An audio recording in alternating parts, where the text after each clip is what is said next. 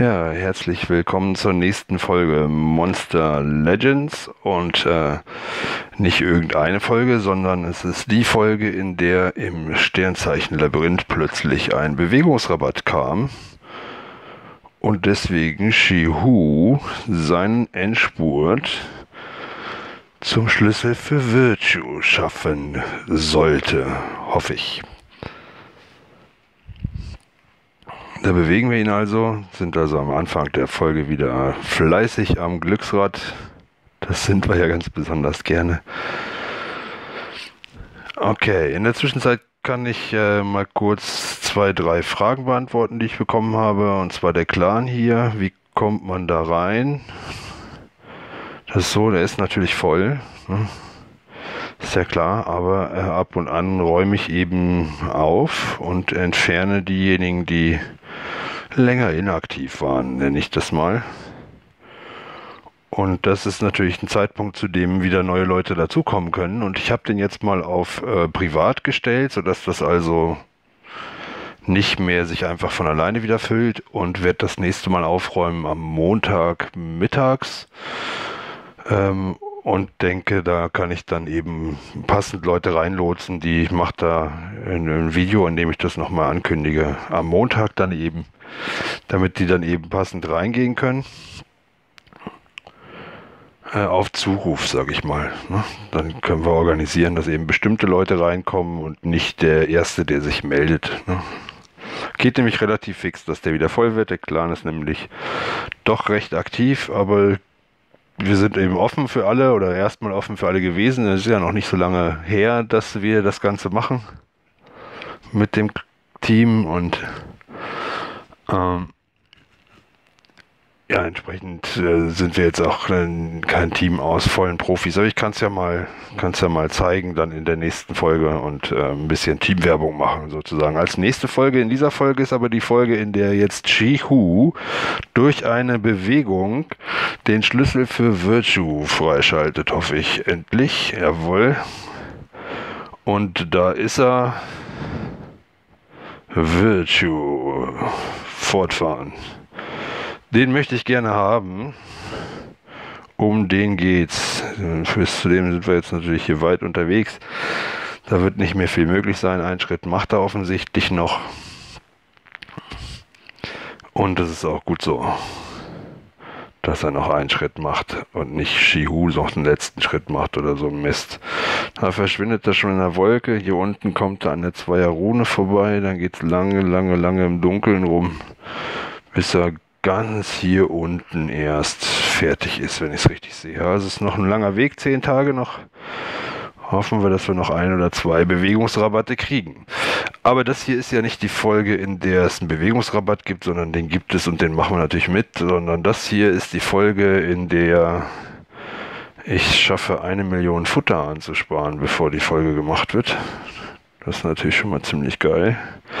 Nein, das hier ist die Folge, in der ich mich dazu entscheiden werde, ob ich die 23 Gems jetzt ausgebe, denn ich gebe sie aus, ähm, weil ich äh, in äh, 22 Stunden unterwegs bin und das ganze Wochenende quasi unterwegs bin und wir dann die Atomfolge nur mit Futterverlusten über PvP-Angriffe oder sowas ähnliches kriegen. Nein, weil wir die Atomfolge natürlich jetzt sehen wollen. Ne? Ich habe Monsterwood-Filme geguckt. Oh, drei Ruhenplätze, alles klar. Danke. Ich habe Monsterwood-Folgen geguckt, um mir die Gems zusammenzusparen und ihn gleichzeitig ausgebrütet. Da ist er.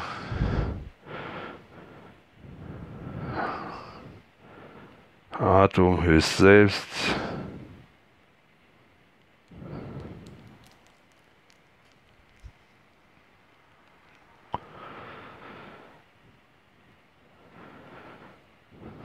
Äh, mir gefällt übrigens das Spiel, aber ich möchte euch gerade eben im Moment nicht bewerten. So, da ist er. Der General der Erdarmee. Atom ist stark, selbstbewusst und ein ziemliches Raubein. Nicht gerade das, was man feinfühlig nennt. Okay, auch vom Baby Atom mache ich ein kleines Foto noch.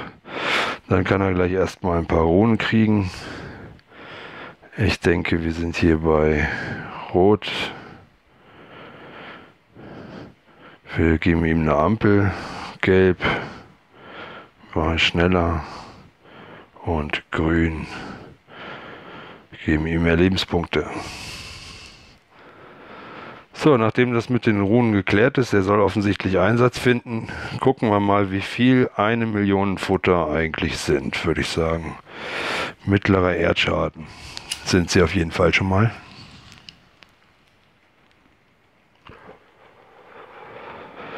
Mittlerer Sonderschaden und Lähmen sind sie auch.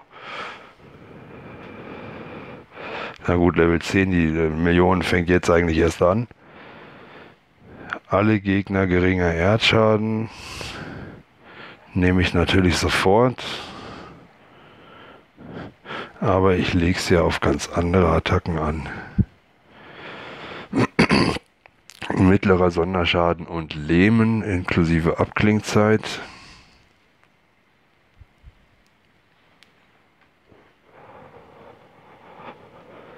Parken wir mal da drüben. 940.000 noch. Allen Verbündeten ein Schild, die ihr Leben zwei Runden lang verdoppelt. Voller Schild für zwei Runden für alle. Das nehmen wir auf jeden Fall erstmal. Würde ich sagen. Voller Schild. So, Level 30, mittlerer Sonderschaden, Lähmen 30.1. Nehmen wir es jetzt, weil es mehr Schaden macht. Ja, nehmen es, weil es mehr Schaden macht.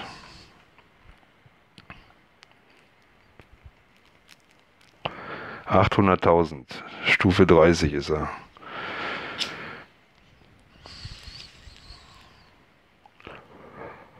Sehr schwerer Sonderschaden. Also hat keine Abklingzeit, wird quasi dauernd benutzt, wenn nichts Besseres da ist. Leitet doppeltes Leben und leitet zwei Runden lang 100% Schaden zurück. Hat eine Abklingzeit für einen Verbündeten.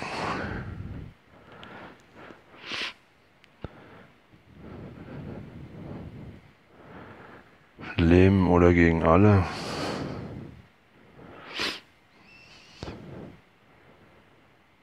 Das ist der schwere Schaden. Okay. Also dann aufs Leben verzichten, nicht auf den Multi-Angriff. 670.000 noch. Wir sind bei Stufe 40. Wir wollen den Atom ja auch noch was machen sehen, denke ich. Mittlerer Sonderschaden und Lähmen, ja, genau. Habe ich ihm ja gerade eben quasi vergessen lassen. Da sind wir Stufe 50. Bei allen Gegnern mittleren Erdschaden. Das ist quasi besser genommen. So, Stufe 50, 500.000 Futter rausgeblasen. Das ist natürlich erstmal nicht schlecht, ich denke, aber wir bringen ihn schon noch bis zu 60 auch. Mittleren Sonderschaden kann das Ziel lähmen, hat eine Abklingzeit. Ja, habe ich ihn ja schon vergessen lassen. 55 wäre gleich auf mit dem Pad. Und 300.000 Futter in die anderen Legis stecken. Na, wir gucken noch, wie weit es weitergeht. Eine Million. Was bedeutet denn jetzt eine Million? Erdoffensive, allen Gegnern geringen Erdschaden und alle lähmen. Das könnte natürlich eigentlich auch interessanter sein als mittlerer Erdschaden. Durch das alle lähmen, würde ich sagen. Zuschlagen kann er ja schon. Wo geht's noch hin? 65. Allen Gegnern mittleren Erdschaden haben wir doch gerade eben andersrum entschieden. 70. Nein, die 70 erreiche ich nicht mehr. Die 69 also. Dann kriegt er einen neuen Namen. Ich nenne ihn Brain 69. weil es halt gerade passt mit Level 69. Auf 69 fangen wir an, ihn zu spielen. Runen hat er auch mächtig gekriegt.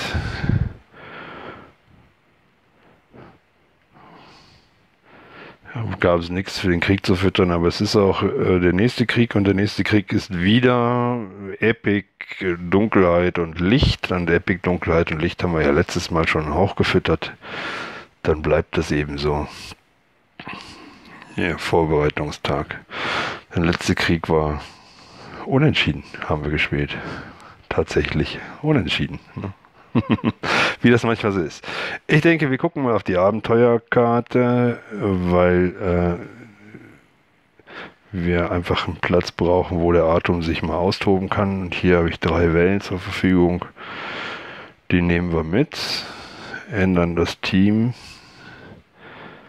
Die Epics nehmen wir mal weg. Also General Atom, sein Pad,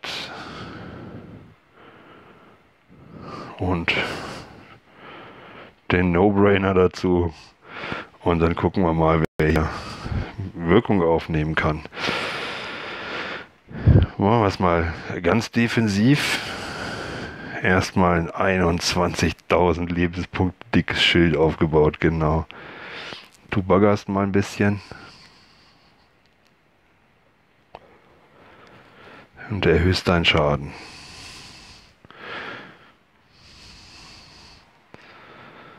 Ja. Schöner Feuerball, auch ein schöner Feuerball, aber das Lebensschild hält einiges aus, würde ich mal sagen. Doppeltes Leben und zwei Runden lang äh, Schaden zurückwerfen wäre eigentlich noch besser gewesen, das noch vor dem Schild zu bringen. Aber er hat hier eh schon ein Schild. Können wir uns aussuchen, auf welche Art und Weise wir auf den Gegner einschlagen. Dreimal halb tot sozusagen. Du brennst. Das sollst du aber nicht.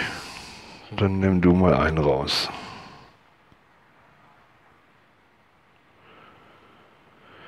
So, und jetzt der Brainer.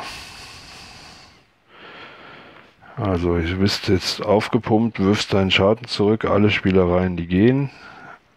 Äh, die Erdoffensive hat aber eine Erholungszeit, also einmal totschlagen. Genau. Nächste Welle.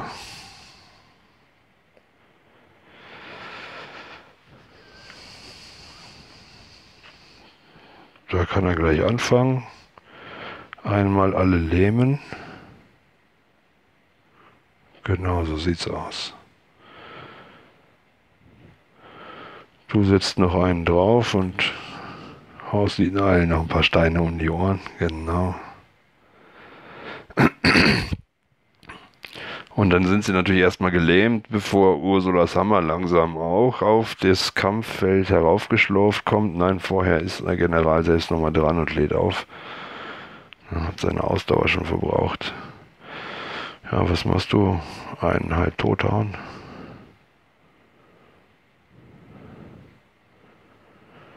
Tja, wer ist der dritte Mann für das Atom-Duo? Das ist die Frage, die sich stellt. Ne? Wer spielt eigentlich mit den beiden zusammen?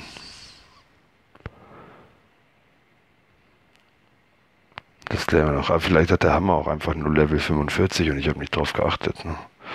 So, einen tothauen kann er offensichtlich. Jetzt kriege ich mal Schaden, ja. Ob der jetzt zurückgeworfen wurde oder nicht, kann ich leider nicht mehr erkennen. Und dann gucken wir uns die dritte Welle auch noch an. Und was haben wir in der dritten Welle? Nächste Welle.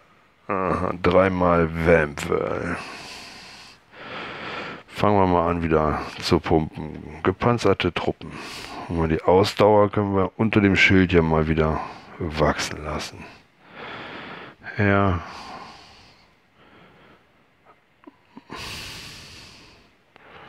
Na gut. Er ist gerade aufgedreht.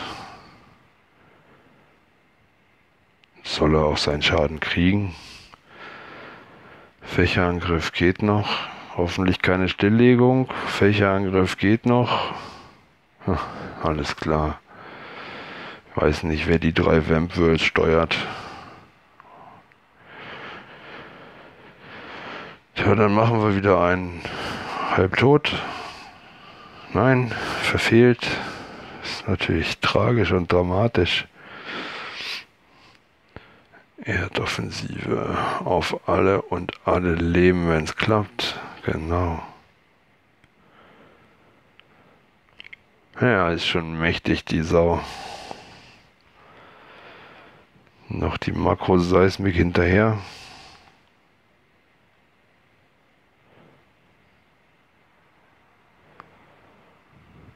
Und da ist er gleich nochmal mit seinem Streitkolben.